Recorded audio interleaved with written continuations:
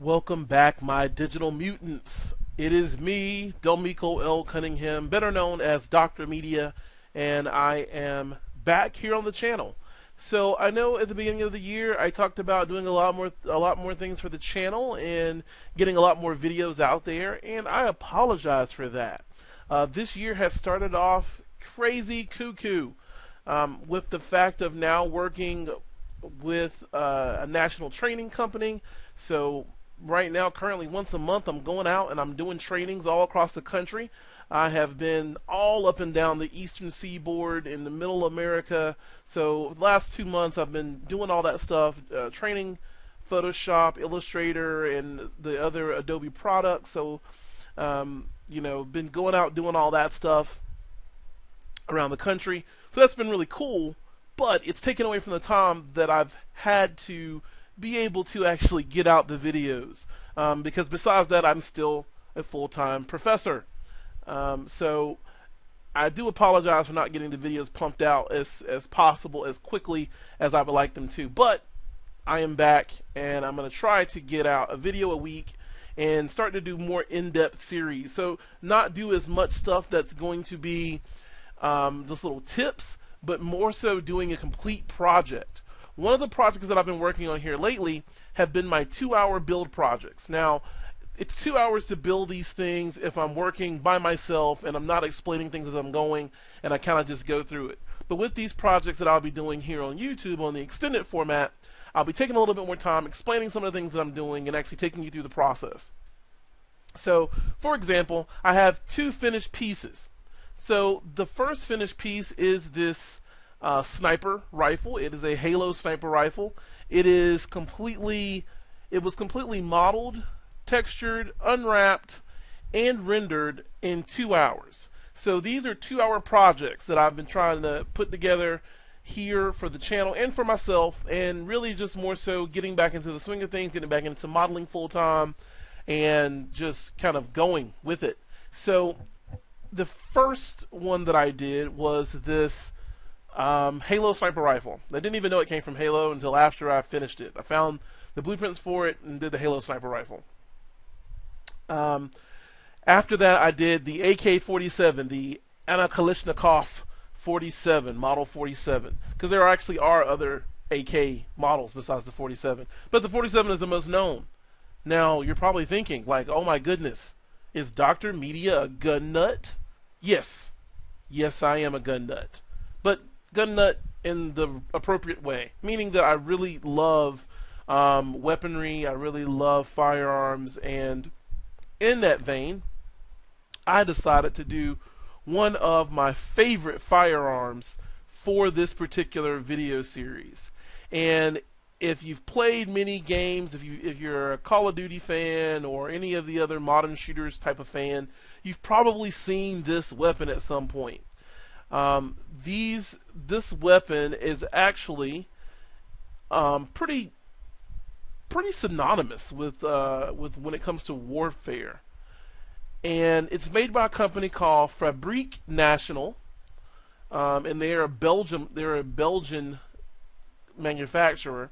So, and I'm going I went right to their website because I really like, and this is their American website, of course, but the FNC, and that's where the FN comes from, right? So if you if you ever heard the the the uh, the PS90, the Fabrique National or, or National um, is the company. That's what the FN in uh, FN stands for. So the SCAR, the FS2000, and the PS90, uh, as well as they make a they make a MK, they make a uh, 15, which anyway, for me, I have always been a huge fan of the PS90 the PS90 is one of my favorite, just looking modern weapons. I remember seeing those during the 80s because the PS90 is not a new uh, carbine firearm. It is a very old weapon.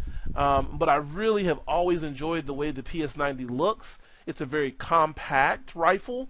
Um, now, usually when you see these in in like military use, they have a shorter barrel.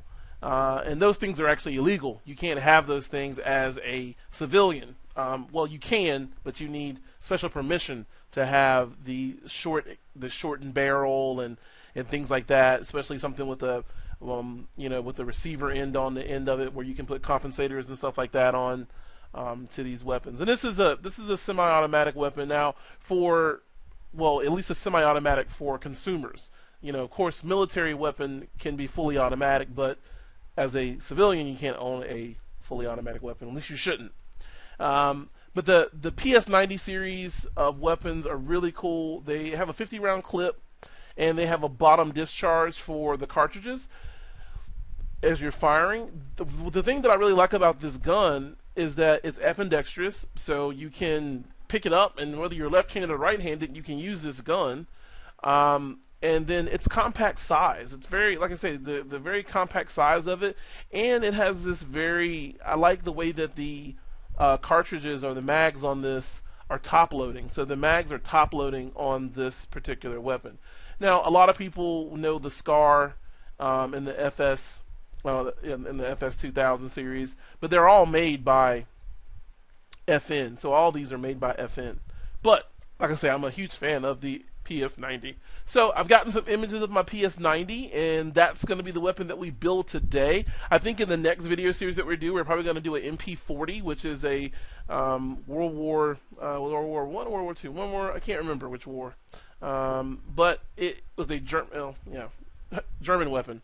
So it was a it was a German um, a German submachine gun, and we'll probably do that in the next video series. But today we'll we'll be doing the FN PS90, and I guess one of the things that made me want to do the PS90 is the fact that I've been playing uh, Tom Clancy's The Division from Ubisoft, which is a fantastic MMO modern shooter. I really enjoy what I've played so far, and one thing that kind of hurts my soul is that they have included the FN um, F2000 as well as another uh, FN. They have the FN Scar and they have the FN F2000, which they they kind of improperly name it. It's the FS 2000, but they have those two weapons from FN. But unfortunately, there is no PS90. At least not currently right now. Now maybe they'll add one later on, but right now there's no 90. Um, and I think the 90 is a very, I really do. I think it is a very classic and a very recognizable gun, kind of like the AK-47. You can show somebody the silhouette of an AK-47, and they're going to be like AK-47. Um, it's just one of those guns that is, is very, you know, kind of timeless and and some people some people actually mistake the the FN or the the F2000 series for the PS90, and they're not the same gun. As you can see right here, they're two different models from FN. Um, so anyway, and we're gonna get back, and the the whole process for this, we're gonna work. Uh, and the process that I use for the rest of these weapons, they were built inside of Silo, so we'll be modeling in Silo as opposed to Max or Maya. Uh, and as everyone knows from watching this channel, I'm not an elitist. I don't think that Silo is a completely better program. I don't think that Max and Maya are no longer valid. I have been a Max I have been a Max user since 2001, and I was a Maya user even longer. I've been a Maya dabbler um, since 1986, and I've been a professional Maya user since 2000. So, so for about 16 years, I've been a Maya user, and I love Maya. I think Maya is the cornerstone of the media industry. I think it is a fantastic program. Sometimes I just think that it's overkill when I'm just doing things like modeling. Uh, so for that vein, I actually have started kind of going farther out into the into the microcosm of the world and landed upon Silo probably about nine years ago at this point, and really just liked the program. It was it was the, their whole thing was the zen of modeling, and I kind of get that. The controls are very simplistic, uh, and the fact of you know you get what you need. The interface is is not daunting because there's some 3D programs out there that the interface kind of makes you not want to use the program at all. So anyway, we're going to be modeling this inside of Silo. And once we finish in Silo, we'll be taking this into another one of my favorite programs, which is 3D Coat. 3D Coat is a sculpting, retopology, painting, and even rendering uh, application. Uh, 3D Coat is probably one of the first programs, at least to do it right in an integrated package, to have PBR shaders as well as traditional pixel uh, texturing, and then having a unwrap system that is very much like UV layout. UV layout is a great layout tool that does nothing but laying out UVs, of course. But inside of 3D Coat, I have some similar, pretty similar type of workflows that go very quickly. So we'll be using that for our texturing and unwrapping process of our weapon. The last piece of the puzzle is going to be Marmoset. Uh, Marmoset is a great program for any game art student. If you are a game artist and you want to be able to show your models off, and you want a very inexpensive way to do that, you want an inexpensive way to, to actually render, Marmoset is a real-time renderer. I currently use Marmoset version 2. It's about 130 bucks, and it is a fantastic real-time rendering system. So everything you're seeing right now, like all the AK-47, all these things, like the Victoria Fire, the Victorian Fireman's Mask, all of these things were rendered inside of Marmoset, and you can see you get these, you know, nice world globes, and the lighting that's done in there is all completely comes from the skylight. You can add in additional lights, but you know, not even knowing how to render, you can go in there and get some pretty detailed renders. Uh, just case in point, this was rendered inside of Keyshot version 5, which is really more for product shots and um, things of that nature. And this is about, oh, I'd say a 15 minute render out of Keyshot with the model. And the Victorian Fire Mask, like this, the minute that I brought it into Marmoset, it was already rendered. Like this is the view that I see for the rendered finished piece. So that's what that is. So anyway, when we get back, I'm going to set up my images inside of, I've got some images. Now the funny thing is when it comes to weapons, you can usually find blueprints for different weapons. Some weapons are harder to find blueprints for. Some weapons are really hard to find more than one view for. Because even for like the manufacturer, they have the side profile view because, well, that's what people want to see. People really want to see the overall length and, and breadth of the of the um, of the weapon and not as much kind of like floating around it because the profile of a weapon is pretty much the big part of it, right? So it's easy to find these side view pictures, but a little bit harder to find the pictures that are going to show me the top, the bottom, the back, and give me the dimensions of this. So what I'm going to end up doing is I'm going to end up using a lot of a lot of images that come from here, or the image that comes from here rather, and then some other images that I have of PS90s and I'm going to do a little bit of creative license when it comes to some things. So it's not going to be 100% correct. Now I do have some I do have some breakdown pictures of PS90s so I can see some of the internal working pieces, but like I said it's not going to be 100%. So we will start working on that when we get into our next video and we'll be right back.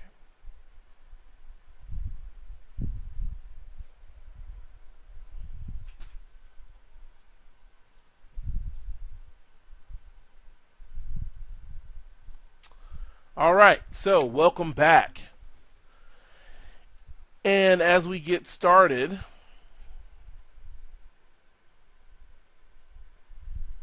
all right, welcome back, my digital minions. It is I, Dr. Media, with your digital prescription fix.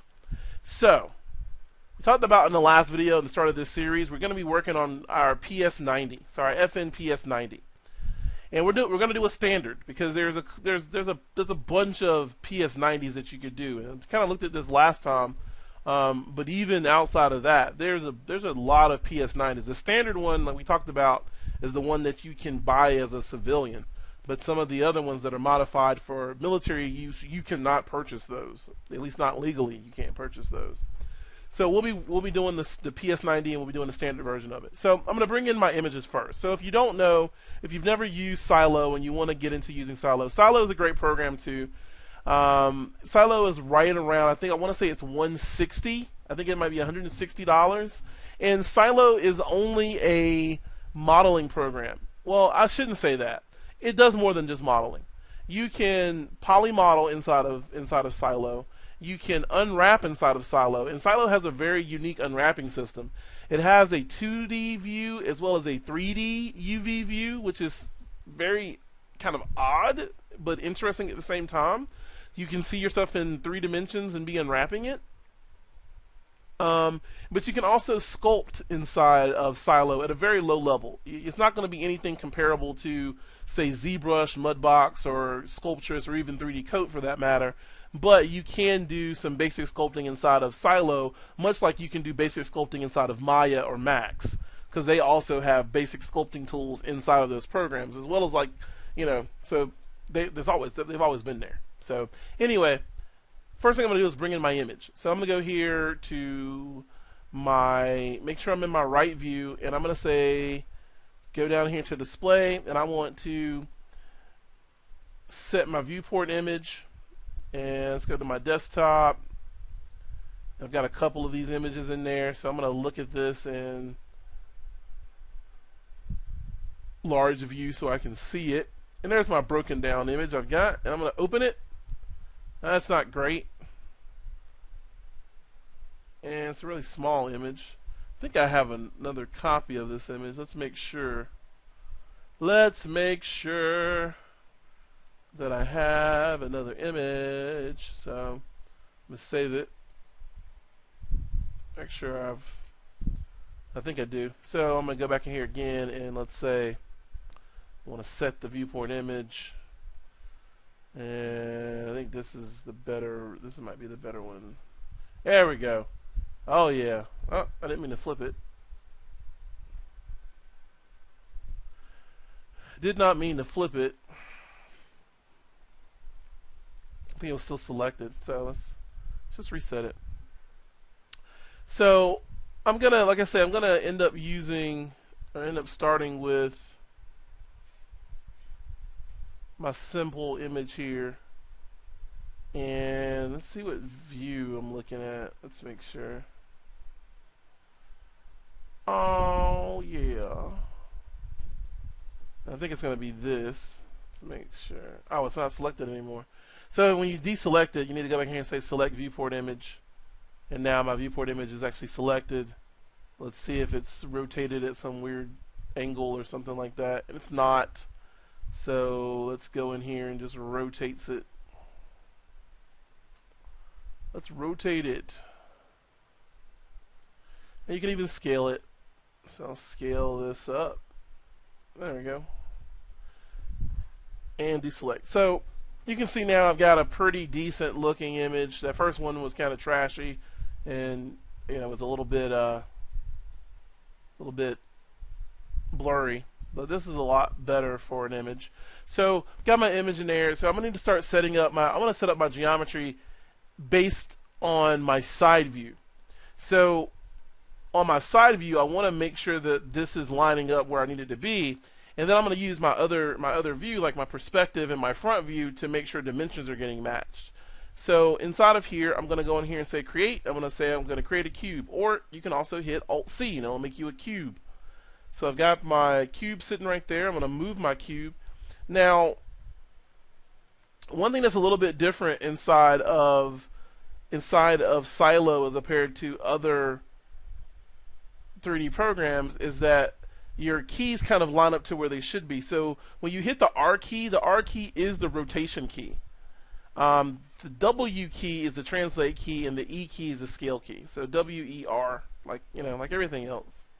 So I'm to hit W and move this kind of where this needs to be. And you can see by doing that, I now know the relationship between the this part of my weapon and where I am in 3D space and where my actual model is going to be at. So you can see I now have some real relation, some still, some still, some real um, relationships between objects and I know where things are at now. So that's that's very useful. The other thing I can do is I can come in here and going to right click on my object and I like I really do like this is the fact that I can ghost so I can come in here and say that I want to ghost that uh, so I can say object display mode and I can turn on ghosting So I can have ghosting turned on for individual objects and not for everything in the viewport. So with that, I'm going to come in here and go to face mode. Face mode is underneath the D key. So when you hit D, that goes into face mode. Let's make sure. Yep, and see that's that's something good we had to make sure of right there, because you can see I'm pulling this what appears to be down in my in my world here. So I'm pulling this down, but it looks like in my right view that this is actually going up. In my front view it's going down. So realistically this would be the orientation of everything if I went off of the way this is currently set up. So what I could do, and you can see in here Y is down, and in here Y is up and Y is up in here. So this one's kind of funky right? So this one's just a little bit out of whack as it were because it's really not right because if this is going to be the right way this this wouldn't be like this so we need to we need to make sure we figure out what's going on with this before we move on all right so let's go in here and I'm just going to look at, let's say, that's to world. Let's see if we do it to objects and see. And object manipulator to object. And they should match, I mean, world and object should be matching up at this point, so that's a little weird. No, that's still like that. Oh, you know what? That's why my image probably came in flipped because it knew that. And I'm just going to go select my viewport image. And yeah, it did because when I did this, I rotated this the other way. So we can fix this. I can either model a different way in the other two viewports, or I can just end up rotating my image which that'll probably be easier just to rotate my image and I'll rotate this on X and say 180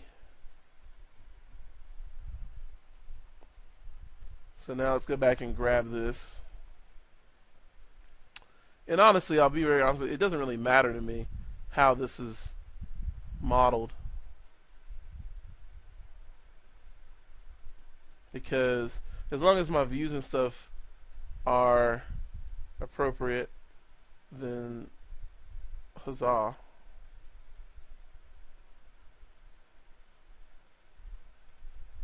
It's kind of weird though. I don't know if I like that. Let me let me pause and see what's going on with this. Let me pause for a second and see what's going on with this. All right. Uh, I fixed it, and I'm going to tell you how I fixed it. Because we were looking at our right view, and if I look at this, and I'll do I'll do it brand new all over again. So I'll show you. I don't want to leave you hanging.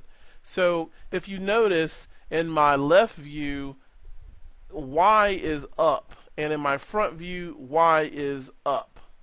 Right. So those are matching. And if I look at this right now, I could see that on my left view that this would be the orientation from my left, kind of. So I'm going to come in here, and my left view seems like it's right now, and I'm going to hit display and set the image, and let's go get our image again, hit open. I'm going to make another cube, so Alt-C to make a cube. So you can see when I pull this back, you'll see it's going the appropriate way in my view. When I pull it down, you'll see in the front view it goes down, and in my side view on the left side it goes down. So now by the views being appropriate everything is right. So we're good. We are good. We are good, good, good. So got that. Let's get that right about there. And I want to kind of set this up from the very beginning that it's almost the right thickness. So I'm going to bring this right here and get my scale tool and scale this down a little bit. And it's right here. And just from knowing this weapon so well, and that's the thing you need to know. You need to know what you're modeling. You need to know the object in which you're modeling to make sure that you are modeling it appropriately. Right? So that's there. And on my front view, let's add another let's add an image here. I'm gonna add the same image here. So I'm gonna set image and go down here.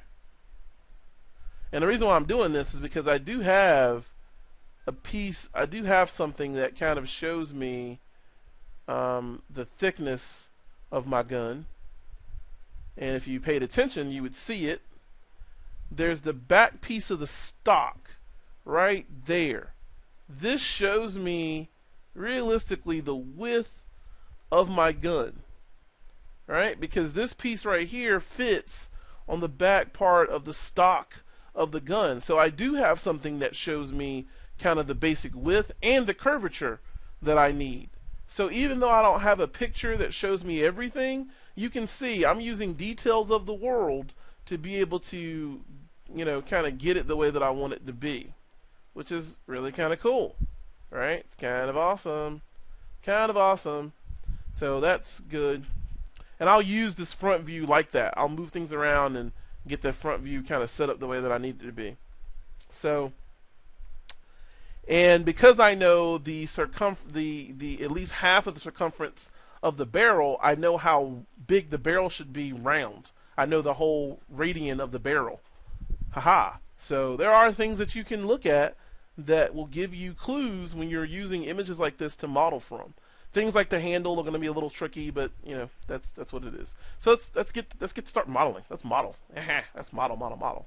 So I am going to right here on my piece. I'm going to go to face mode. So I'm going to hit D, go to face mode, and I want to extrude this.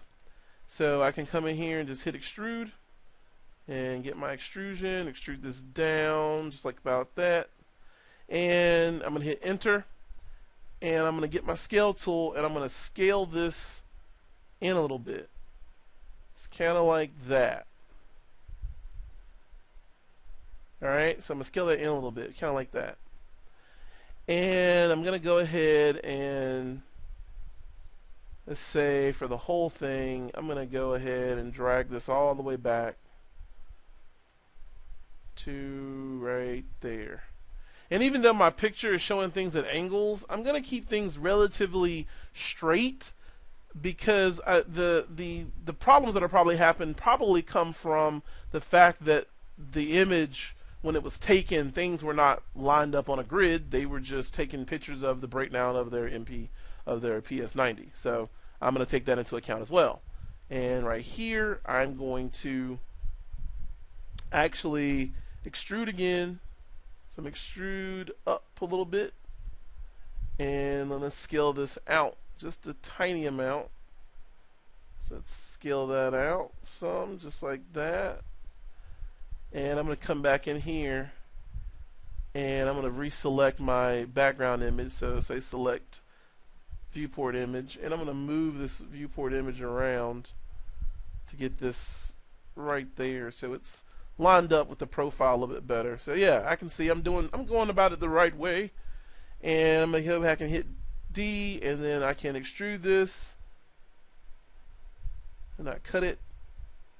And let's extrude it. So I can come in here and extrude it.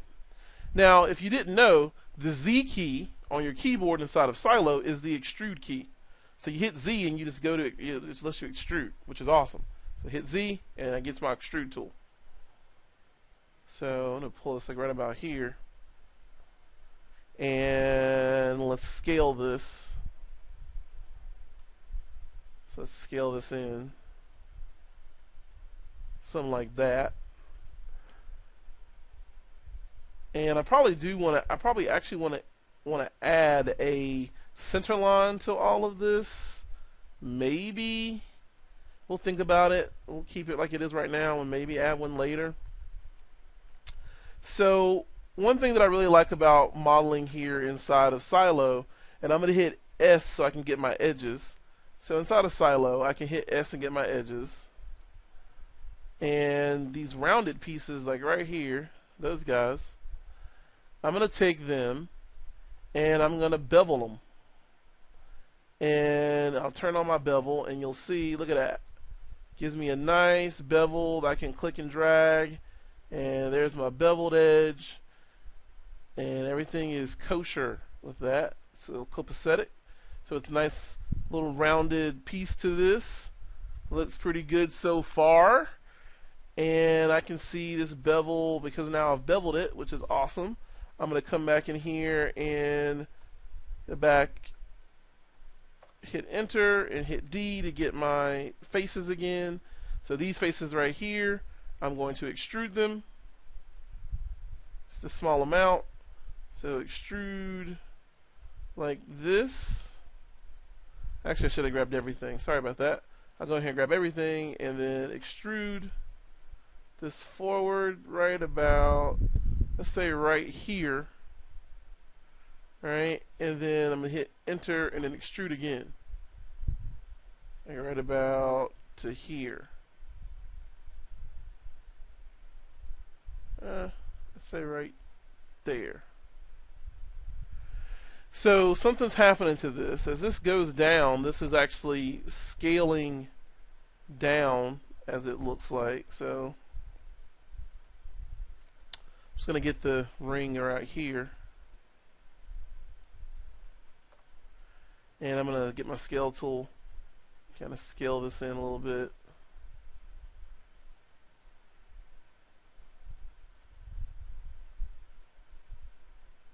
So scale that in It's kind of like that.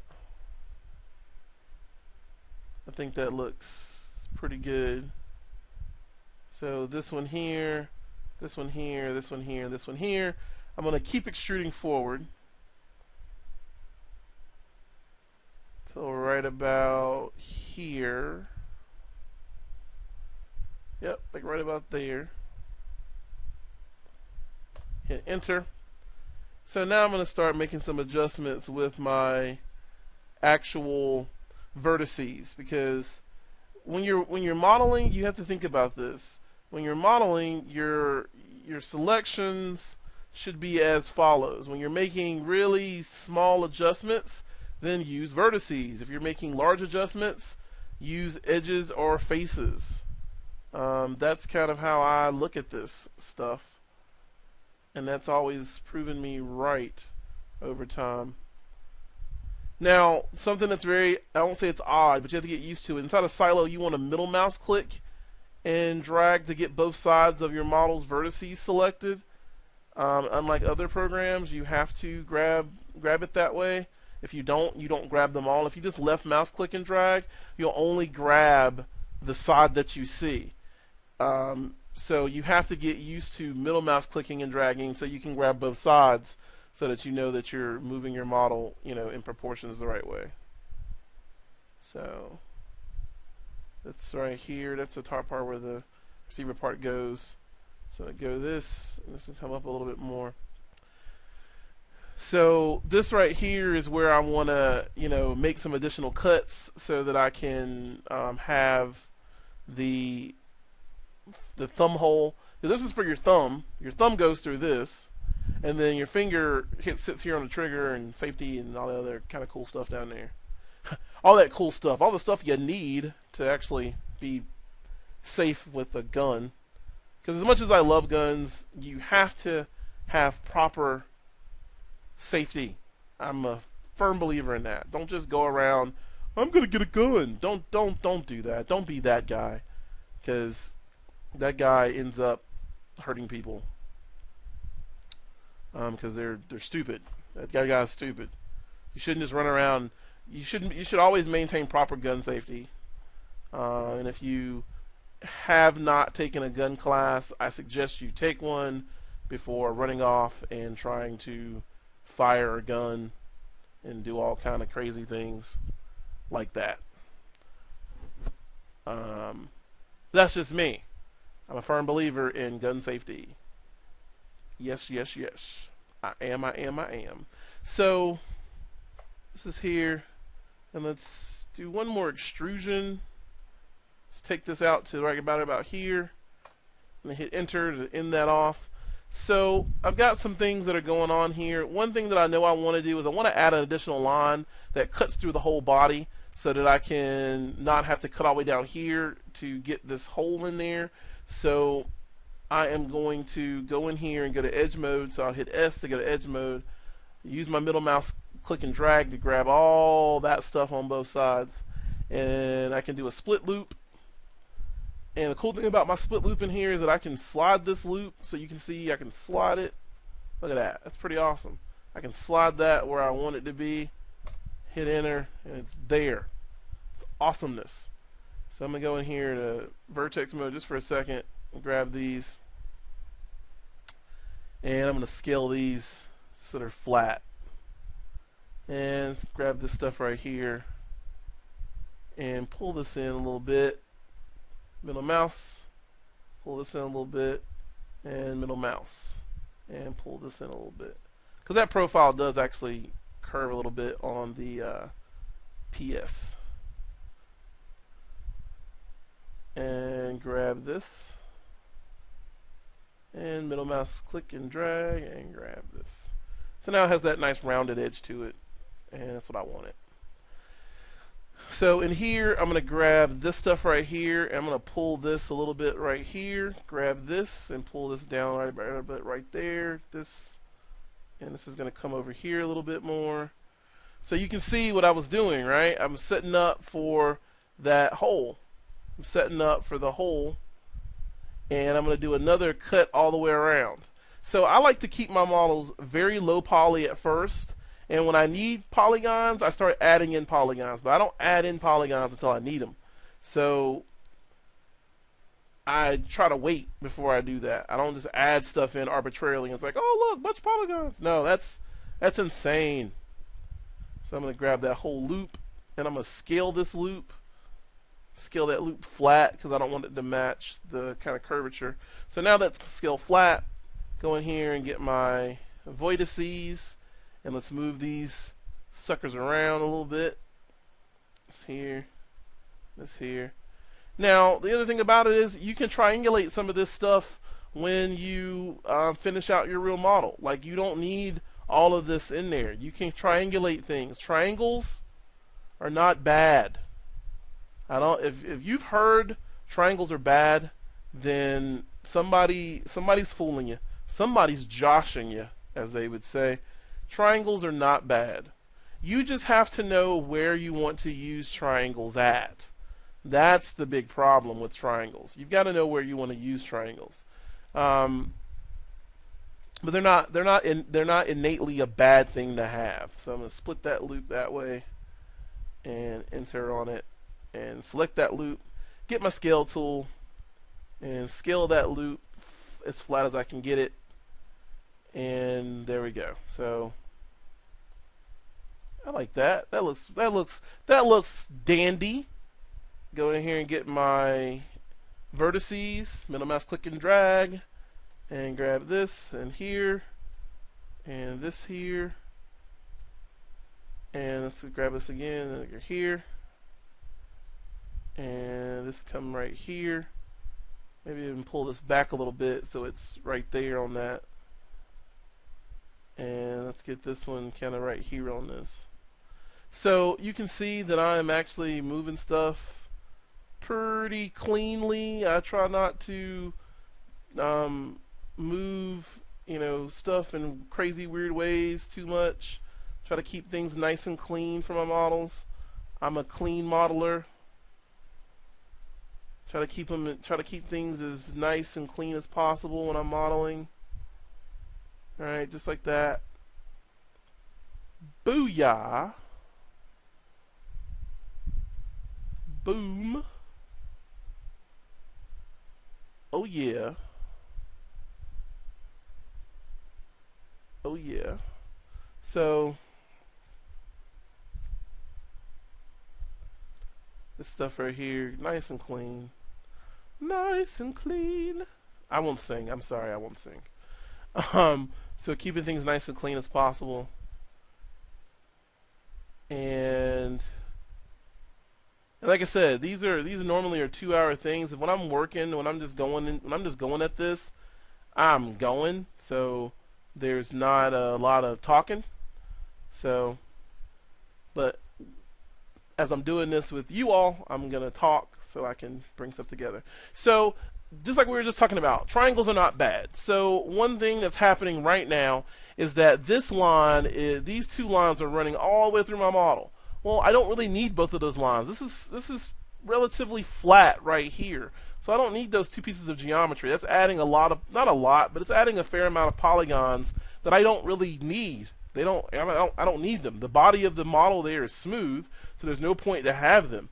So what I'm going to do is I'm going to merge these back together. So I'm going to merge this and I'm going to actually merge these these guys back together. So boom, boom and bring those back together so I can go in here and merge them. So this right here. And I'm trying to remember. Nope. Anyway, let me go in here. And that's right. The keys are not the keys are really different in here. Not really, but so Control Alt Z will repeat last command. So I'm going to go in here and merge. And now I should be able to hit Control Alt Z and merge. Yeah, there it worked. It worked. So let's make sure we do both sides of our model. Let's make sure we do both sides of this guy. So boom, boom. Control Alt Z merge. And you'll notice I'm doing the same operation over and over again. I am clicking, I'm going from the top one to the bottom one. So I'm going from here to here. So and merge and merge and merge. So I've merged them. I'm going to select both sides. And it's really weird. What happened to my What happened to my selection tool?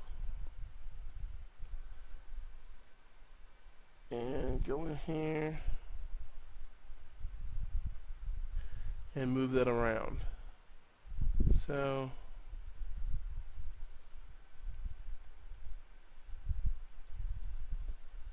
I think I hid that. So let's make sure. Yep, show manipulator.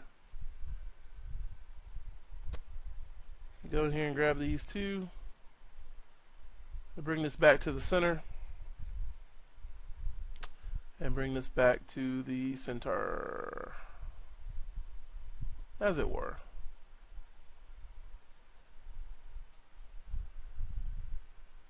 So now I can adjust some of this stuff here. I can kind of pull this here. Pull this here. Pull this here. I told you I wouldn't sing didn't I? Sorry. Sorry. Modeling makes me happy though. So sometimes I just bust out in the song. So it happens people. I'm just saying. Those happen. Sometimes a song just just can't just can't stop yourself. Just gotta gotta feel it. Gotta feel it ooh, yeah, f -f feel it. So I'm going to bring this back, and I'll bring this back right about there. This is going to be a tricky modeling piece right here because this is this got a this has a lot of things going on to uh, make this look correct. A lot, a lot, a lot of things going on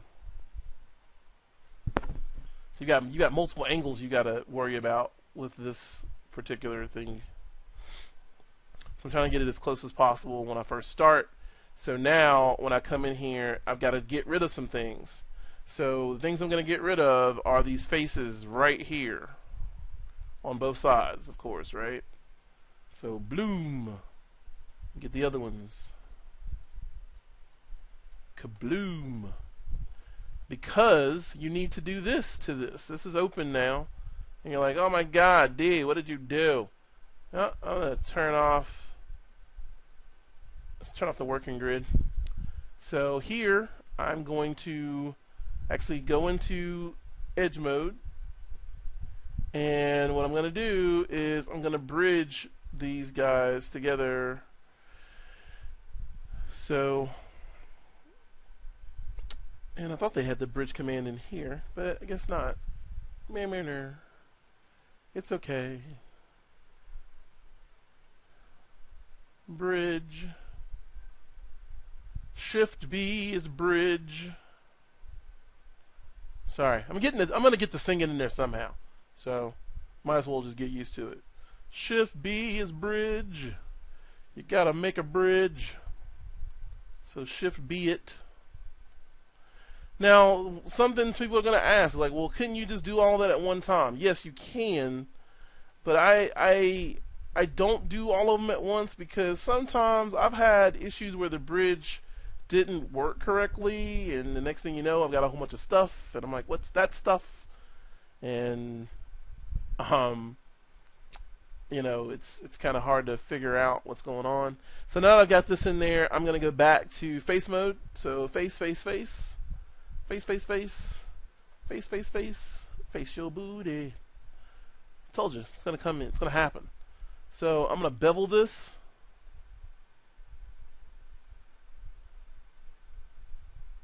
And it's really not beveling the way I want it to bevel. Or how I want it to bevel. Let's see if I... And this might not work. Let's see though. Let's extrude it. Yeah, so I'll extrude it instead of beveling it. So I'll extrude this right here. And I'll bevel it by hand. So now I can come in here and grab this and pull this in. Just like that. So that gives me that nice kind of rounded edge of what that's going to be. This stuff right here doesn't need to come down though. Like this right here does not need to kind of come down. This needs to stay up at the level of where it started at. And this stuff here needs to now come in. So let's go to vertex mode. Yeah, I know you're thinking like, how in the world are you going to make that kind of weird, you know, thumb hole thingy? Well, now you see. It's not that hard. You have to plan. Because my geometry is already there. I just planned for it. Alright? So I have enough geometry to get this all the way around and actually get a smooth uh, version of this. Whoop. Whoop, whoop, whoop, whoop. Alright. So go back. And now this can just come forward a little bit where it's supposed to be. And this can come back a little bit where it's supposed to be. And I could get rid of more polygons if I chose to. Because I'm don't they're not they're not all needed. Right? Like all this stuff up here is not needed. But I'm gonna keep this I'm gonna keep this stuff because there's some things that happen that need to happen there. But um I could maybe I'll do that in a cleanup video. Like I'll do a video not a not a separate video, but when we get closer to the end of this, we'll say, hey, this is how you could clean up your model to make it even more impressive to people. So you can see that if I go in here and subdivide it.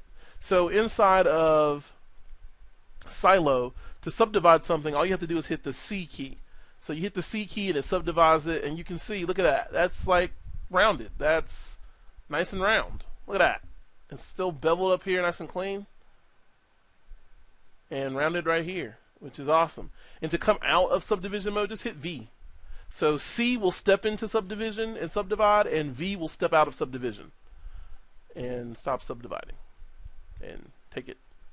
So now that I've done that, I've done this kind of really complicated thing where I've shown you how to kind of take this apart.